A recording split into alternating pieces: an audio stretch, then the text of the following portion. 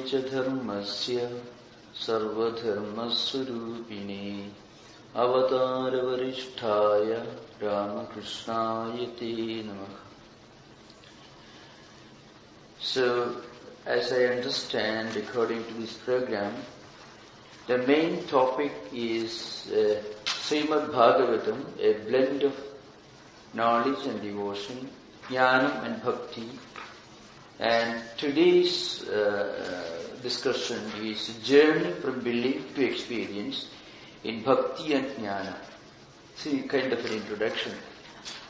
So at the very beginning, I want to speak just a few words about the the place of or the relevance of Bhagavatam as a scripture in the Vedantic Hindu tradition. So it is one of the Puranas. It's called one of the Mahapuranas. So if you just look at the uh, the canonical tradition of Vedanta Hinduism, there are three main streams in our tradition. One is Shruti, Smriti and Puranas. Shruti stands for Vedas. And Smriti, literally, Smriti is Smriti. Uh, when we try to interpret the basic, fundamental Vedic or Vedantic principles of life according to changing times, changing situations, then certain new rules and regulations are put in place. Such books are called smritis. More or less, let us say, ancient constitutions. There are altogether 18 smritis. And altogether there are four Vedas. Rigveda, Yajurveda, Samaveda and Atharveda. These are the four Vedas which actually constitute the very primary, the most important authentic scriptures of Hinduism and Vedanta. So if you have any conflict between certain ideas of Puranic uh, rituals or conventions mentioned in the Puranic literature, mythological books, and what is mentioned in the Vedas, then we are expected to ignore the views of the Puranas and we are expected to uphold the views of the Vedas. So the great uh, writers of Smriti literature and also the author of all the 18 Mahapuranas and Upapuranas, mythological books, have clearly stated that whenever there is a conflict between certain beliefs, customs and habits and conventions and the fundamental teachings of the Vedas, we should ignore the Puranas and the mythological books and uphold the views of the Veda, Vedanta. Swami Vivekananda once said that one, uh, one cause of most of the problems of Indian culture or Vedantic tradition was we, that we gave more importance to the mythological stories than the Vedantic and Vedantic principles. I shall give an example. There are many rituals, many uh, contemporary practices which uh, are different from province to province within India. See what is relevant and what is practiced in one part of India is not practiced in another part. So how do we decide what is authentic, what is relevant? If it is mentioned in the Vedas, it is relevant. If it is not mentioned in the Vedas or Vedanta, then it is only a, a provincial or regional convention.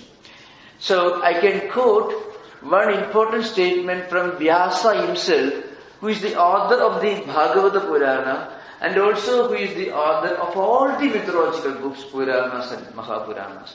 Sudhi Smriti Purananam Virodho Yatra Drishyade Tatra Sraudam Pramanam Sya Tayodvaithe Smriti Vara. Vyasa, in case Vyasa Smriti makes a statement.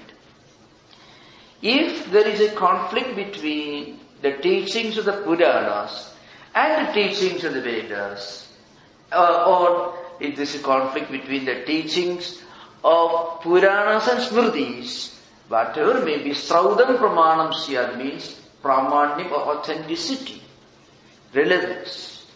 Or the contemporary relevance is always for the teachings of the Vedas and not for the Puranas and mythological stories. Now, Bhagavata Purana has a unique significance. Though it is considered to be a Purana mythological book, it is the only Purana which is which has got the same status, which enjoys the same status and authenticity with the Vedas. So, idam Bhagavatam Brahma Samvidam. So, Bhagavad Purana says that this unique work that we are going to discuss today onwards is as authentic as Vedas themselves. So, those of you who uh, are used to being heard that that Bhagavata is a, just a um, devotional classic. So remember, it begins with uh, Brahma Sutra, Janmadishyataha. The first statement in Bhagavata Purana itself is the second uh, of the Brahma Sutra, Janmadishyataha. I mean, from what, from where, from whom the entire universe emerges, where it sustains, where it gets resolved into. That is how Bhagavata begins. And it ends with Satyam Parajima. So Bhagavata Purana has got an Advaitic beginning and an Advaitic conclusion. So it begins with Jnanam, knowledge, and concludes with Jnanam and knowledge. This is the reality. But in the, in, in, the, in the middle, in the, in the, in the meanwhile, what happens?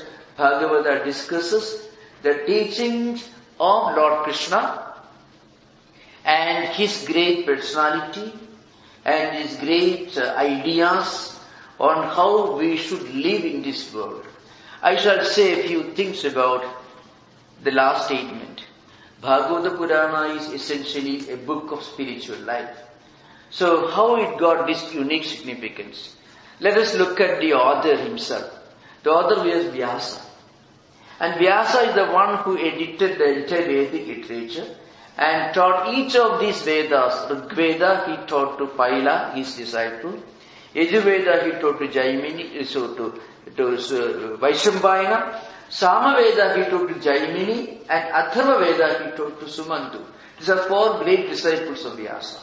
He divided the Vyasas into four groups and each of these groups he taught to one of his four disciples. So Yajurveda was taught to Vaishampayana, Rigveda was taught to Paila, and Samaveda was taught to Jaimini, and uh, uh, Atharva Veda was taught to Sumantu. He is also the author of the all 18 Mahapuranas and 18 Yuga He is also the author of the Brahma Sutra, Badarayana Sutra, and is the author of Mahabharata, which in its smallest smaller version has got more than 1000 verses, 13 times as big as Homer's Iliad and Odyssey. And where this and is put together, that is the size of Mahabharata. Thousands of characters, scores of dynasties, there are hundreds of dialogues, You have so many wonderful things, Mahabharata, of which Bhagavad Gita itself is a small fraction. This Vyasa was suffering from serious depression. That's how we got in Bhagavad Purana. The most accomplished philosopher and the most famous sage of ancient times in India, the author of the most important classics and philosophical works of Sanatana tradition, he was suffering from a serious uh, problem of depression. He was one day sitting on the banks of river Saraswati. And his own son Shuka was the most respected sage of those days. And he had innumerable disciples who had already become so well established. You can think of a person, the most learned man, the most, the most respected author, the most famous philosopher of those days, sitting somewhere in a pensive mood, suffering from depression, suffering from a serious feeling of inner incompleteness. He was sitting there. The Narada happened to come. The Narada was a great sage of ancient India. So Narada asked him this question, what's the matter with you? Why are you unhappy? So you should be happy because if you find a man has got a trillions of dollars in the bank, most wonderful bestsellers to his credit, and his own students happen to be the best professors of his time, philosophers, and this man is unhappy. So there is something wrong with him. So Narada asked him, what's the matter with you? The Vyasa said, well, I have done, I have attained, I have accomplished all these great things. But I feel there's a serious feeling of incompleteness, imperfection within me. So I don't know the reason. Then Narada told him, I know the reason why you are unhappy. What, what makes you unhappy? The reason was this. Vyasa had written wonderful philosophical books. And here he had uh, uh, written the largest uh, classic, literary classic the world is, world is known, Mahabharata. Now, in Mahabharata and many of his literary classics, what he discussed was dharma. Now, dharma, according to Vyasa, is what you should do and what you should not. A set of do's and don'ts. It's more like constitution or law. You may be the best attorney in the world, but you may not be the best man in the world.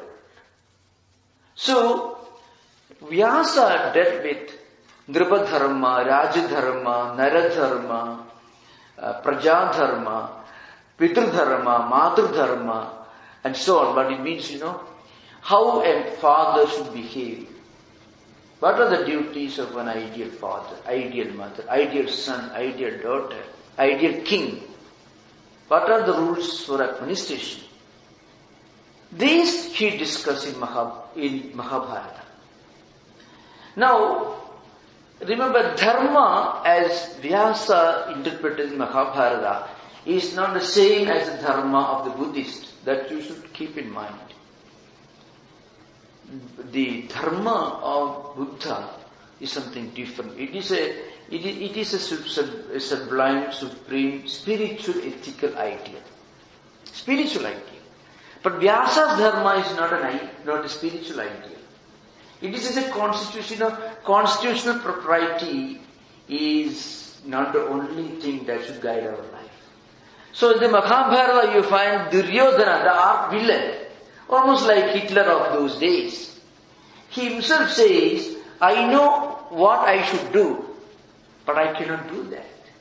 I know what I should not do. I can never stop for a moment from doing that. That is his predicament. So, if you get a good attorney, even Hitler can get scot free from it. So, dharma is a neutral principle according to Vyasa.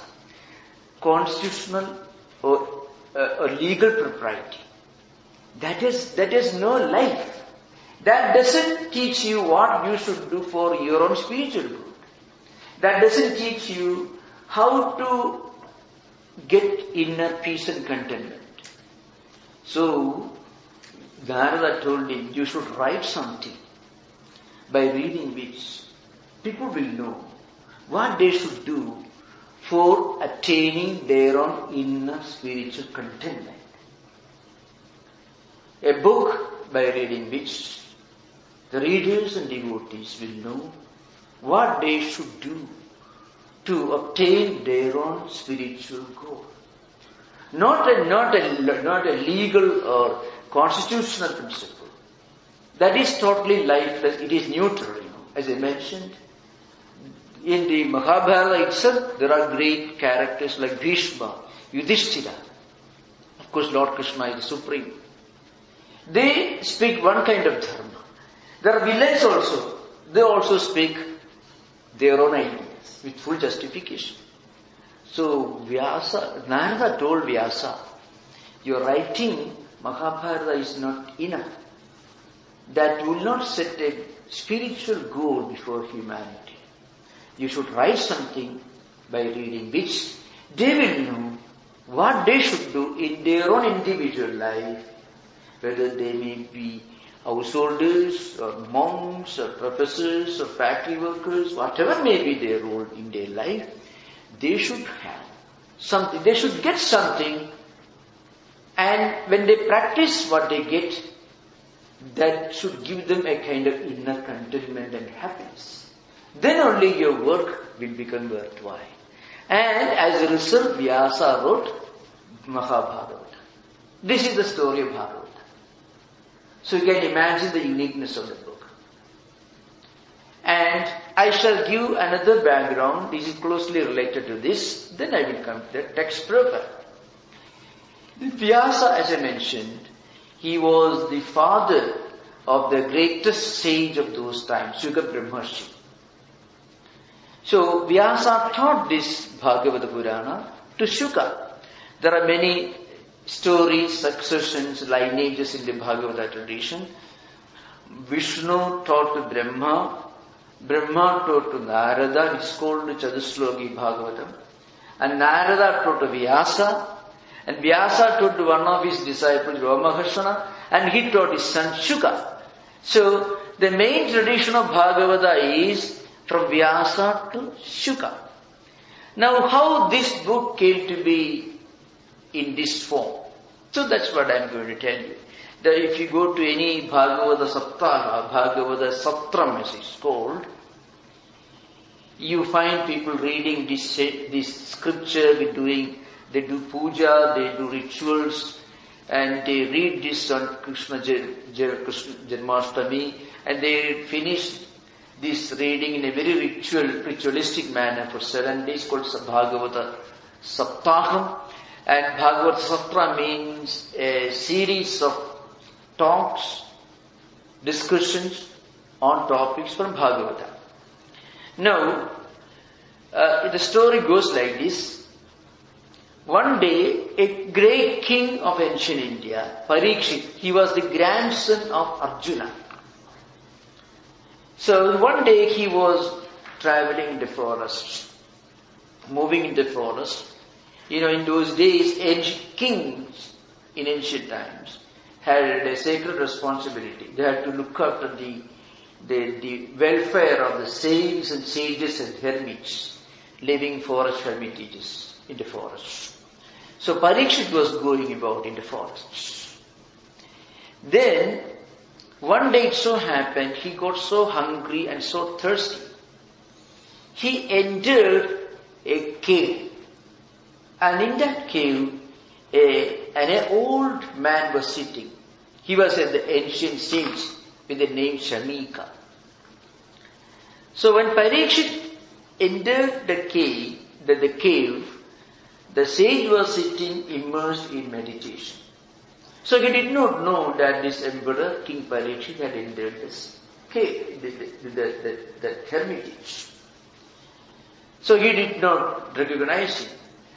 King Parikshit was hungry and thirsty, so he was very, uh, he was very angry when he found that this sage was sitting with his eyes closed, apparently ignoring him. So he got terribly angry. And in that desperate mood, he went, he looked around and found a dead snake lying about in the bush. He lifted that snake with his bow and put it on the neck of the sage and went away. This, you know, the sages in ancient times were retired householders. When householders after their professional obligations are over, and when they see the face of their grandchildren, they come to a conclusion that a family lineage will be kept intact. So instead of continuing their home, blackening their hair and whitening their teeth, trying to uh, reverse the metabolism, husband and wife will go to a forest hermitage and spend the rest of their lifetime in meditation. This is called Vanaprasthasrama. So Brahmacharyasrama, Garhastya, Vanaprasthasrama. And many of the sages were Vanaprasthins. So, uh, this sage did not know the Parikshit that entered. And after some time, his son, Sringi, that was named, his son came to know that a king had endured his father's hermitage and had done this terrible thing, putting a dead snake on his neck. And the son cursed, without knowing it was Parikshit who had done it, cursed the man who did it, whoever may be. Uh, he will die of snake bite on the seventh day from now. That was the, that was the uh, curse And when after some time the sage opened his eyes, he found what his son had done. He was terribly sorry that his son, who was so immature, uh, had foolishly cursed the great, say, great king Parikshit. So he sent his uh, disciples to King Parikshit to inform him what his son had done. Parikshit, hearing the sad news that he will die on the seventh day from now, what he did, you know, he did not get angry. He felt, well, he did something wrong and deserved the punishment. That is the beginning of Bhagavad. That's the glory of Bhagavata. So King Parikshit, when he found out that he had only seven days to live, he renounced his kingdom, his comforts, his palace, and his family, all. He brought his, he asked his youngest, sorry, eldest son to come in front of him, Janamejaya, made him the next king, and he left the palace and came to the banks of river Ganga, holy river, sat there on meditation. Sat there in meditation, and he said he will give up his body as a penance for the heinous crime, heinous sin that he committed by putting the dead snake on the neck of the king. Now, when the great sages of those days came to know the whole story and also the greatness of the king, who had got angry, who had punished the sage, but instead of doing that, he was such a great man, he was a philosopher. He had the spiritual insight. That's the difference between a person who is a spiritual seeker who may commit a mistake and others. You know, when we meditate, when we lead a spiritual life, we may also commit mistakes, but we will develop an insight into look into our own mistakes in a very impartial manner. So Parikshit could understand that he did something terribly wrong, entering a hermitage finding an old ancient sage sitting in meditation, he suddenly thought in his foolishness that the sage was ignoring him, so, and he committed the sin, so it was wrong on his part to have done it, so he should learn a lesson from this. That's what happens when you become a spiritual seeker. We will be able to throw the flashlight into our own mind Others will be blind. So, Parikshit was a great man. So when the great sages of those days came to know of the story, Shuka also uh, came and all the sages, Vyasa, Shuka and other Parashara, all these great saints and sages came to the banks of river Ganga and uh, they, they started uh, admiring Parikshit for his spiritual insight and for his wisdom and his maturity. Then Parikshit puts one question to Shuka. The question is, what should a man do or a man, what should a person do if he or she has only seven days to live? अथ पृच्छामि संसिद्धिं योगिनां परमं गुरुं पुरुषस्येह यत्कार्यं म्रियमाणस्य सर्वदा अथ पृच्छामि oh great sage I am putting this question to you. I have only seven days to live. So what, how should I live my life as an ideal person? Withdrawing all the bank, all the money from the bank, going to Hawaii, or having a good time for the seven days? No. I should prepare for my next level of existence. So, in this life I made a mistake. Parikshit was such a great noble man. He was the, he was the grandson of Arjuna and he was specially blessed by Lord Krishna himself. He was such a great man. But even a great noble person can at times make a mistake. But the difference is such people will be able to throw the flashlight into their own mind and dictate the problem within their own mind and they will be able to correct it, rectify it. So you see, Ata Prichamisam Siddhim Yoginam Paramam Guru. Mriyamanasya yet karyam, so, so, uh, so what he says, Ata Prichamisam Siddhim Yoginam Paramam Guru, Purusasya yet karyam, Iha Purusasya yet karyam. In this world, which we are going to leave after seven days, which I am going to leave after seven days, how should I live? So, yat kartavyam, yas martavyam, like that, he goes on asking this question, bhajniyam what, what, what I should do, how I should meditate, how I should go about doing my duties and responsibilities for the seven days left in front of me. And also what I should not do. Bruhi Dua Vivedriyam, what I should not do. That is, so what I should do, what I should not do. So just imagine a king, a great king, who suddenly confronts the terrible reality that he has only seven days to live.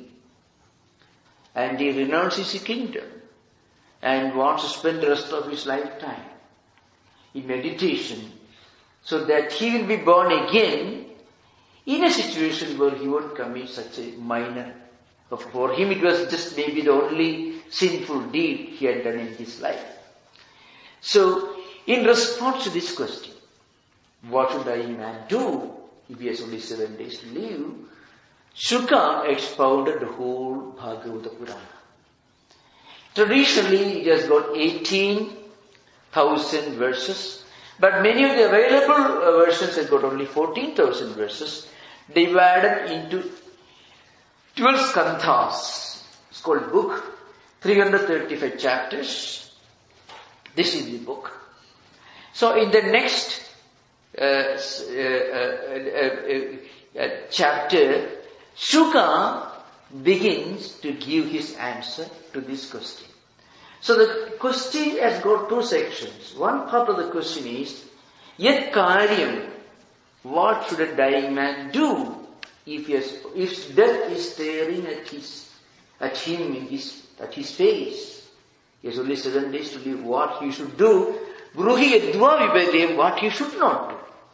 So the great sage Shuka begins his reply by focusing on the latter part of the question. So what's the latter part of the question? What he should not do. So first Shuka gives a long discussion of how people normally consider wealth, status, health, youth, beauty, external beauty as the only things worthwhile in this world. And how they look upon their own physical body as something that's going to uh, stay forever. Every day you may go to crematorium. If, even if you go to crematorium manager, he will, he will, he cannot actually bring his mind to a realization of the momentariness of the physical body. Every day we read in newspapers, Ahanyahanni Bhudani Gachan Yahu Yamalaya, one of the statements in Mahabharata, you find every day millions, billions of creatures, including human beings, leave this world to some unknown place. But we somehow believe we are going to stay in this world for all time. The youth, health, wealth, all this will remain forever. So Kalidasa, the great ancient Sanskrit poet, has an interesting statement, you know, Yavvanam dhana sambhati prabhutvam dhanamevacha um, ekaikamavi anarthaya kimu yatra chadushtaya. Yavvanam dhana sambhati, youth, money, wealth, uh, and then uh, means uh, you are the law, you are the CEO of a big company, or maybe leader of a big group. And each of these can be a problem without that spiritual wisdom and spiritual maturity. Each of these can be a big problem in life. So this is how people normally waste their life without a spiritual ideal to guide. So one should have a spiritual ideal to guide. We need not run away from the world, but we should remember the world is not going to be like this for all time. That's enough. That's enough. We should understand its full meaning. Because that particular attitude is called in, in Vedanta called Rajarshi. Rajarshi means Jajanascha Rishayascha Rajarshaya. Shankaracharya says. You should be, you should be a blending of, uh, of, of the wealth, dynamism, efficiency of a king and the spiritual wisdom and insight of a sage. If you can combine these together. So how to combine, let's say, contemplation and action? Uh, action and wisdom. Wealth and also the ability to understand its limitation. So that's why, you know, Rajittum Aishwarya Sampatti Rishittum Tasyaha Sukshmatha Darsana. The meaning is very profound, but it says, if you define kingliness, it implies status, wealth, success, efficiency, dynamism, action, all that the world can offer to us, all that we normally consider to be the most wonderful things in this world. That is, that implies the kingliness in a, in a, in a, in the language of metaphor. Rishitva means sages, the, the wisdom of a sage or a saint. The ability to understand the limitation of material wealth. So on the one hand, the efficiency to generate and manage material success. On the other hand, the ability to understand its limitation. That is the, that's what implies, that's what the implication of saintliness or sageliness. Now, implying this principle, Shuka says, we should be able to combine our life. Not only values that make our life successful in a material sense, but also the ability to look beyond what we normally consider to be success. The richest man is not the happiest. And uh, I have seen many people in the Silicon Valley, many people, they come to, I have seen from the, many who came from India actually, in the beginning, you know, the, all the great glamour, everything. So I told them, you know, you see, a man like Paul Brunton living in uh, New York is going to Chen, to Madras, Chennai, to sit at the feet of Ramana Maharshi who is sitting there staring at something with a loincloth in a cave. And from India, they're, they're coming here to worship Warren Buffett and Bill Gates. So you can see the contrast. Where do you need the, where do you draw the dividing line? It takes a lot of shocks, a lot of hard blows to uh, make them realize that we should stop somewhere in the middle, in the middle of the both paradigms. So Shuka says, Edavan Sankhya Yoga Bhyam Swadharma Parinisthaya Janma Labha Parapumsam Ante Narayana Smriti. This is the statement this is how Bhagavad actually begins spiritual discussion. Edavan Sankhya Yoga. So how to uh, blend in our life action, success, devotion and knowledge that this action and success can really become successful, can really become meaningful only if we, uh, if you are guided by a higher spiritual idea. Now, this you can accomplish either through karma yoga, by doing our duty with a sense of sanctity, sacredness, dedication and detachment. Or through bhakti yoga, as we are going to discuss again. or Jnana Yoga. So this is the beginning of Bhagavata Purana. The story, the background is something very interesting. It has, some, a direct message to our own day to day life and activities. Now, the question arises, I think in this uh, printed, uh, in the printed paper, there's an interesting journey from belief to experience in bhakti and jnana. That's what we are going to discuss. Because you already printed, I have to do justice to these words printed here. So how do we travel from belief to experience? How do we cover the distance? How to, how we bridge the gap between what we want to do and what our mind permits us to do? Very often, you know, there are wonderful things that we would like to do. If our mind would permit us to do whatever we want to do, there'd be no problem in the world, really speaking. So how to bridge the gap? So Bhagavata Purana gives a series of ideas uh, to solve this problem.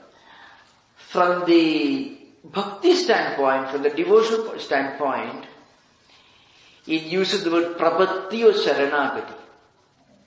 And from the jnana point of view, from the philosophical point of view, it teaches us to look upon everything as an expression of the divine principle. So normally people practice devotion. We may begin by practicing devotion just as a ritual we may practice meditation for a few hours in the morning or every day a few hours. And we may sit apart one day for spiritual life or maybe a few hours every day, a few minutes perhaps every day for spiritual practices. And then the rest of the, our activities we may often brand as secular or non-spiritual.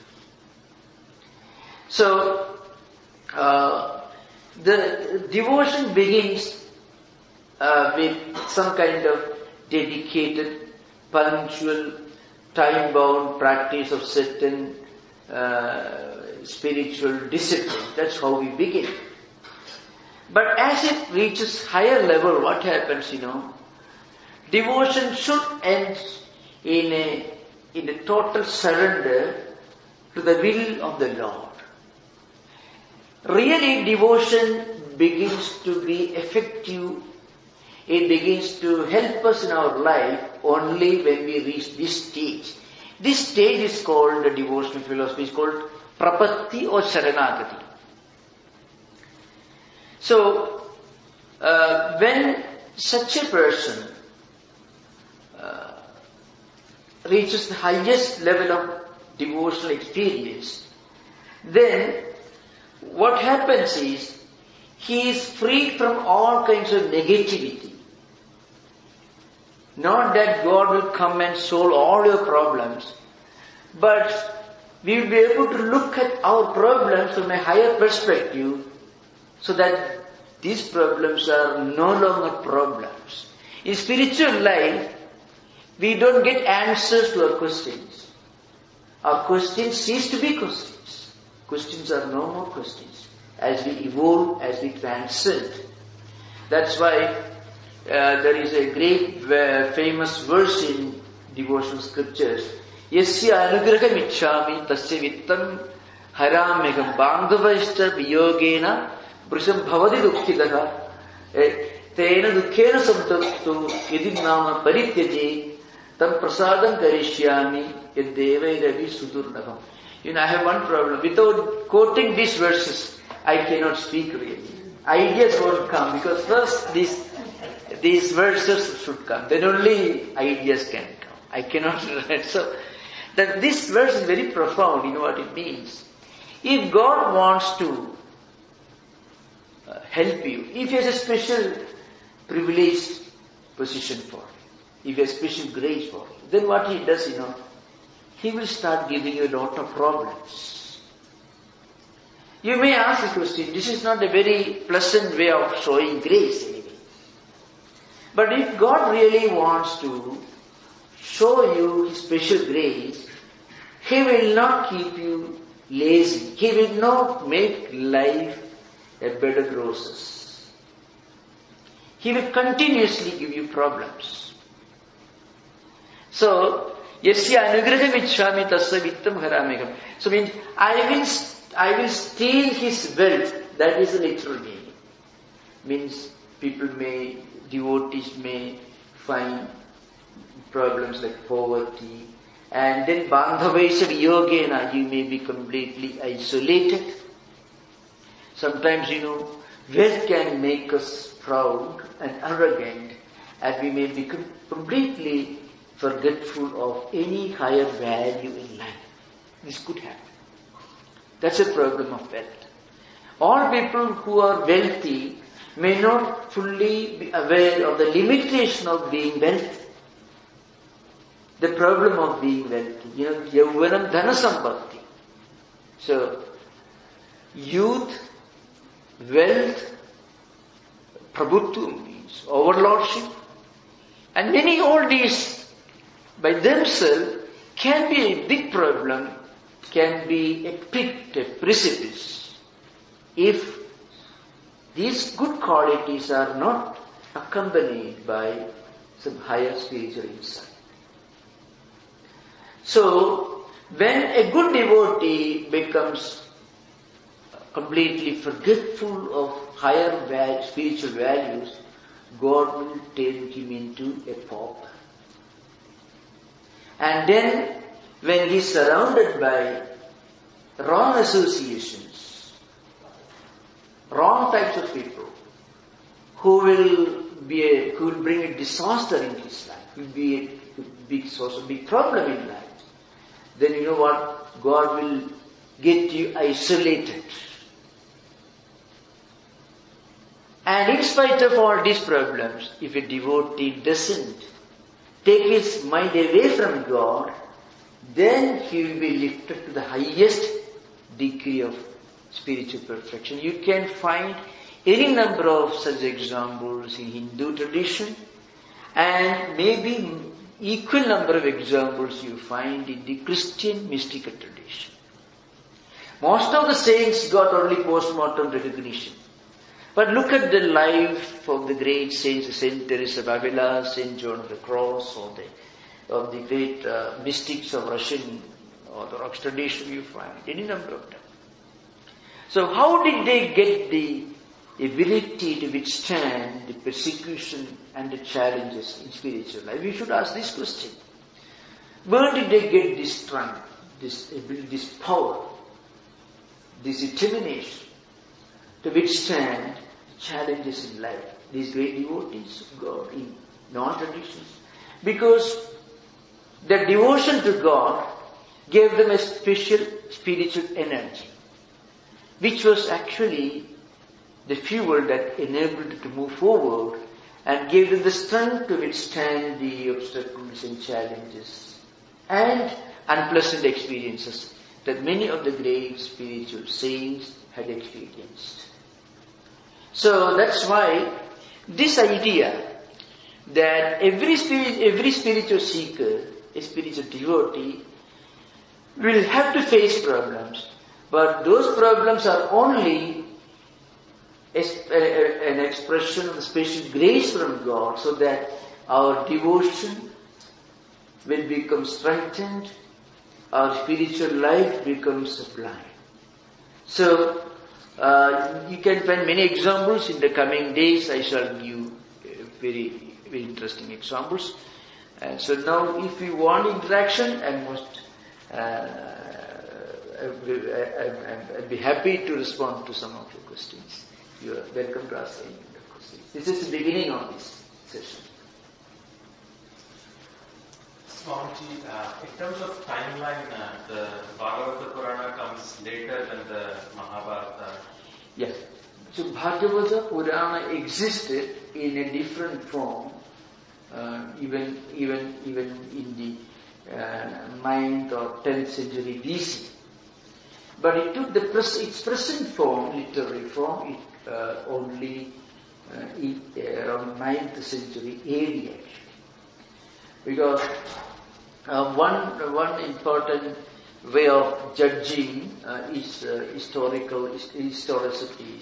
It is not quoted by the great Vaishnava teacher Ramanuja, who himself had coined the know, Anuvulyasya Sankalpaga, Pradivulyasya, the definition of the Prapatti, surrender to God was done by Ramanuja, but it never refers to Bhagavad Purana.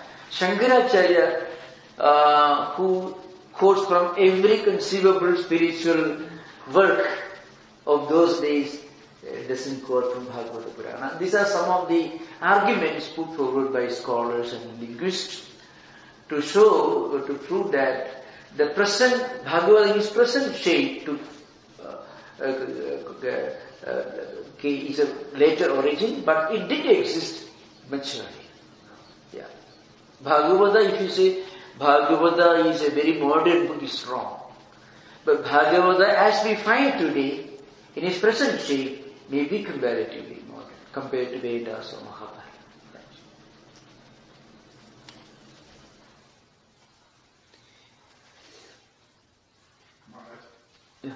Now, when we read the Bhagavatam, we find and the style.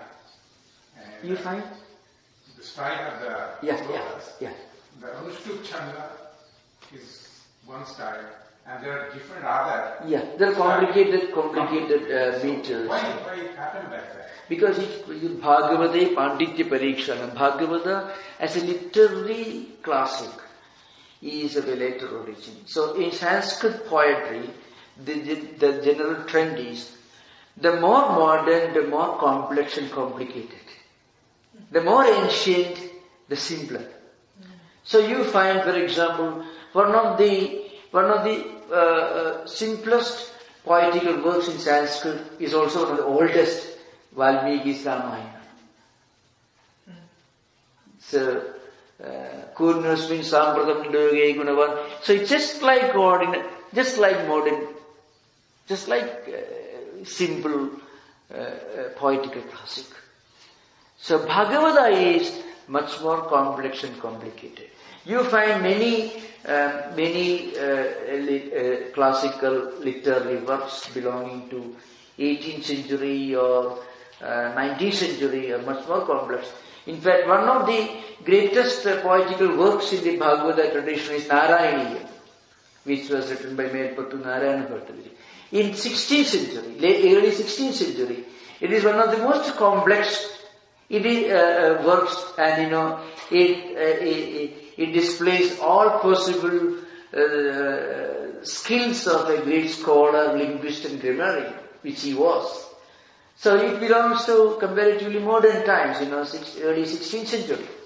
So, but the original uh, works of uh, either Mahabharata or even uh, the Valmiki Ramayanas are all very, very simple. Yeah, please. Is there a recommended way to study the Bhagavatam? Excuse me? Is there a recommended way on how to study the Bhagavatam? Yeah, uh, those who, who, those who are not familiar with Sanskrit language can get, can read a uh, English book, uh, Raghunathan's translation, two volumes, like like a, you can read like a storybook. You can read. There is no Sanskrit slokas, Sanskrit verses in between. Those who know some Sanskrit and want to study with the help of uh, translation, Tapasyananda, publication translation is very good. So I would uh, I would recommend any either of these books for readers who want to study. And those who want to study Bhagavata uh, from a very devotional point of view can read the Bhagavata Stutis, you know. There are a number of hymns in Bhagavata. Uh, by Brahma, by Dhruva, by uh, you know, by Deva Stuti, or Devaki's. There are many, many hymns. Stuti means hymns, devotional hymns you recommend uh, Vedabase.com? I found one which is uh, as, as uh, created a whole repository of everything. Who, who, who? It's called Vedabase.com. Who, who, It is ISKCON, I think it's. yeah, many, many organizations have done it. So the, anything that is, that appeals to you, that gives you a feeling of inner spiritual, um, you know, broad-mindedness, serenity, it's fine. So there are many organizations who have popularized this. So there are there are also some pictorial versions they brought out which can which can be very instructive. For example, uh, respect for uh, our neighbors, respect for parents, and respect for teachers. Uh, all these great values you find in the characters of Bhagavad Gita. So these are being popularized by many organizations at different levels.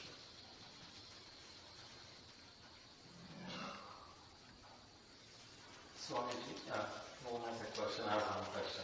Probably it may be longer. Yeah. So the, the core, as you said, of Bhagavata is really this element of bhakti. Ah. It's a bhakti yoga Yeah. and how you attain Sharanagati. Yeah. So talking about moksha swarupa Yeah. and kind of uh, Shankara's work, and he was initially a very much of a jnana proponent, Yeah. jnana yoga. Yeah. But later on, he did compose, you know, stotras like Bhaja Govindam, a lot of different stotras for different gods, uh, propounding the bhakti aspect as well. Yeah, yeah. My question is, uh, does bhakti in itself lead to uh, the ultimate sarvajnana, uh, the Advaitic uni? Yeah. Or bhakti is like a precondition which gets you to a place where you're now ready for the knowledge.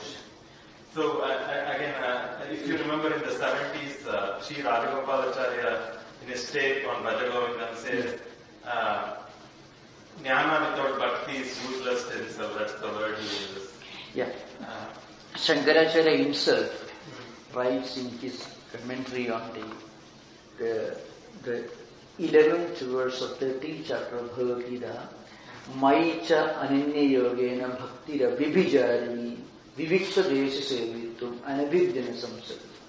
In this verse, Shankaracharya defines pure devotion, sublime, pure, absolutely, undiluted, unwavering. So, avibhijarini bhakti. And he goes on explaining it is uh, unchanging, unwavering, steady, achala, nirmala, sudha, etc. Then he says, sachajnana. Shankaracharya says, this purest devotion, undiluted devotion, a devotion that we mentioned, prapatti, that devotion takes you uh, to the stage where you identify yourself with the Lord. What you meditate upon, you realize within your own heart. That is a kind of Advaitic experience. So at the highest level, Bhakti and Jnana are the same. That is what Shankaracharya says, Sacha Jnana. This purest, most sublime, undiluted devotion, most exalted devotion is Jnana itself. So, as a means, as a method for a sadhaka point of view, when you are a spiritual seeker, you may, according to your temperament, you may perform rituals, you may, you may chant hymns, but when you reach the highest experience level, these differences vanish. For Shankaracharya, he is the author of the of 65 most profound devotional poems in Sanskrit language. Now, if you take any other bhakti acharyas, I don't normally compare, it's, unfair, but none of the bhakti teachers could ever write anything comparable to what Shankaracharya wrote, 65. On Vishnu, Shiva, Shakti, Devi, Kumara, Subramanya, everyone. You cannot go to any temple, anywhere, on whom Shankaracharya had not written at least one hymn.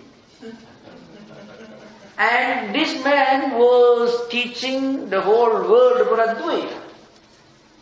So what he did, you know, he, on the one hand, he taught the highest Advaita Jnana, the most sublime spiritual philosophy. That's like the top of the hill, or the top story of the building. But he gave you a ladder. You are standing below. You can take this ladder and you can reach there. So Shankaracharya is like a big ship. So you find in Shankara's work and his life, you find some instructions, for some methods, some, some guidance for the beginner and also for the most exalted spiritual seeker. If we go to uh, if we go to any of these places, I went to Bahamas, a retreat, you know. Bahamas not not a likely place to go to spiritual retreat. now, Bahama, they got one of the most wonderful uh, yoga training centers in the world, started by Swami Vishnu Devananda. They are learning Brahma Sutra, read English, English translations. They are learning Advaita books. People who can't, people who are, there is not one Indian among them. They need to drive home the point. All from Europe, America and other countries. We go to Himalayas, you find eh, the number of students coming from all over the world to learn Vedanta. Now, what attracts the most uh, uh, exalted intellectuals of modern times, Hinduism, Advaita Vedanta, Shankaracharya. But at the same time, you find he also wrote the 65 uh, uh, devotional poems. One of the poems, you know what it is? Chadushashti Upachara Puja Stotram. It is a hymn which outlines 64 types of rituals in puja. It's the most articulate, most elaborate exposition of ritualistic worship coming from Shankaracharya and who installed temples all over India, not only from Badrinath all the way to other Kedarnath places. He established temples all over India. He went to one Shiva temple, uh, one, one mother temple, going to Kanchi, he wrote Sundari Lekhi. To he wrote Stotra. He recited, standing in front of the deity. So, the greatest Advaiti can be the greatest devotee. It. Another point, no? When you become an Advaiti, when you reach the highest jnanam, you don't deny anything, you don't dispute anything. If you are a great professor, you won't tell a kindergarten child, oh, you are a fool, you are studying only alphabet. Look at me. If you are a real professor, he, he, you will know that you also started like that one day. And he may reach where you stand right.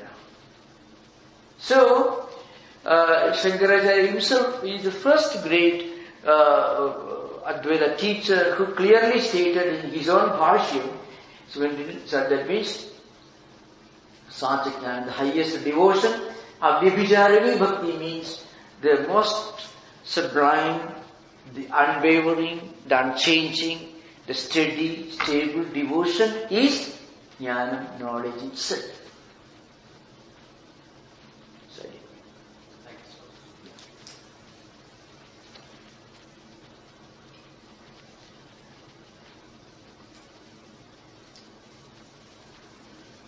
So, there are a few more things perhaps I can mention to you about Bhagavad Puranas, as a special work. Now, you know, I, I mentioned earlier Puranas. So, Bhagavad Purana you find.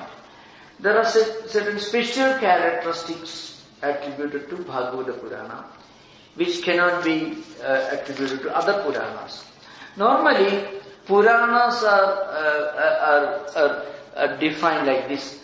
സർഗശ്ച പ്രതിസർഗശ്ച വംശോ മന്വന്തരാണിച്ച വംശാനുചരിതന്തിക പുരാണം പഞ്ചലക്ഷണം പഞ്ചലക്ഷണം means every purana all puranas have got these five characteristics five important characteristics puranas describe the origin of the universe gradual evolution of the universe the stories of dynasties kings and emperors stories of great sages and saints and mystics and also how to worship the Lord.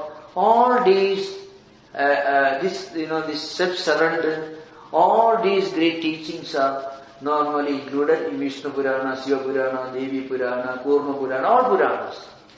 But Bhagavata Purana has got eight, sorry, ten characteristics. Atra Sargo Visargasya uh, Sthanam Poshana Mudena Vamsha So അത്ര സർഗോ വിസർഗശ്ച സ്ഥാനം പോഷണം ഊതയ So what are the special characters of Bhagavad Purana? So uh, one is it deals with the origin of the universe, evolution of the universe, then how the world is being regulated, it maintained and sustained by the Lord, the grace of the Lord, and how the law of karma operates in our individual life, and different dynasties, different ages, different eras, and also story of great saints and mystics and sages, and also uh, the concept of liberation and the concept of self-surrender to the Lord. All these are explained in Bhagavad Gita. So, uh, that is a special characteristic. Atra sargo visargascha sthanam poshanam udaya. Okay, so you find, uh, we will, in course of time, we will discuss these one after another in course of time. So any more discussion? Uh, one thing you said just really struck me. It was so beautifully uh, uh, put forth. When one is surrounded by problems, yet the devotee does not forget God, he or she will be lifted up to the highest. Yes. It's so profound.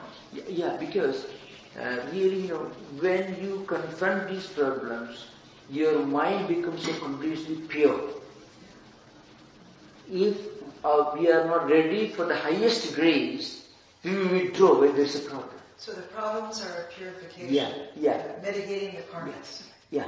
In the Bhagavata Purana, there is an interesting principle, it is connected to this, and you get to mention this. See, devotee, people turn to God when they find the logic of normal human logic doesn't apply in life.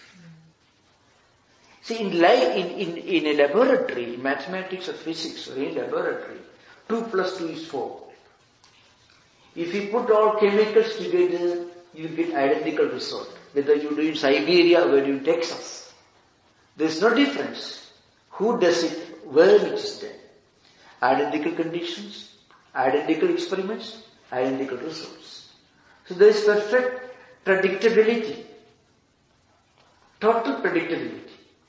You can determine. But in human life, it doesn't work. If in our life this mathematical logic really worked, we won't turn to mysticism, poetry, music, or religion or God. So we find a kind of, kind of inconsistency, an unknown unpredictability in life. So we look for a meaning and explanation. That's how a normal human being begins a spiritual journey. Now when this journey goes forward, you fail, this is the beginning. But then in the beginning of spiritual life, you may think, oh, now I turn to God, everything will be wonderful. But it's not going to be so. The transition from zero to two, or transition zero to one, is so strongly felt. But the transition from one to nine, you may not feel the transition. You get established. So during those days, we go through different difficulties, uh, different problems, which roughly uh, call, which may be called the dark night of the soul, uh, uh, you know, the unknown difficulties. But these difficulties are essential prerequisites for you to evolve to a higher and higher level of spiritual life. You can think of uh, uh, Saint Joseph, who was born in Cupertino, the Italian saint. He was a very dull, a humble man, um, and he was working a stable boy, you know, in a, and then everyone, everyone in the monastery tried to de- deride him, and they finally bishop showed some grace, and he was, then he, uh, he, he actually got a broken image of Virgin Mary, which he, uh, and he meditated and prayed to that Virgin Mary, and he could levitate. That's how the story goes. And then it so happened that he was finally uh, uh, allowed to appear for an examination, and but he used to pray all the time. So uh, when the examination hap- uh, took place, what happened? They asked him one question, the only small uh, portion of the Bible which he had memorized. That is the only thing they asked. Saint, uh, said from Saint Luke one, uh, uh, you know the story of uh, uh, if you if you one lamb is lost, you leave 99 behind and go after the lost one. You know that story. And so he became the patron saint of students preparing for examinations. Because he, the only thing he knew about the Bible, which he always used to repeat in his mind, was so dull, was this small, tiny fraction of the, of the paragraph. So you find, now what enabled him, because he was always praying, so all obstacles were removed from him. But he would not have prayed with so much intensity if he had a good time in the monastery. Everyone tried to drive him away. He had a lot of problems to face. So those problems forced him, compelled him to pray with greater intensity, and that made him a greater saint. Okay? But please, uh, you wanted to ask something? You wanted to ask something? You wanted. I think you were. I did. Oh, no, no, I just wanted you to do what you did. Thank you. That's lovely.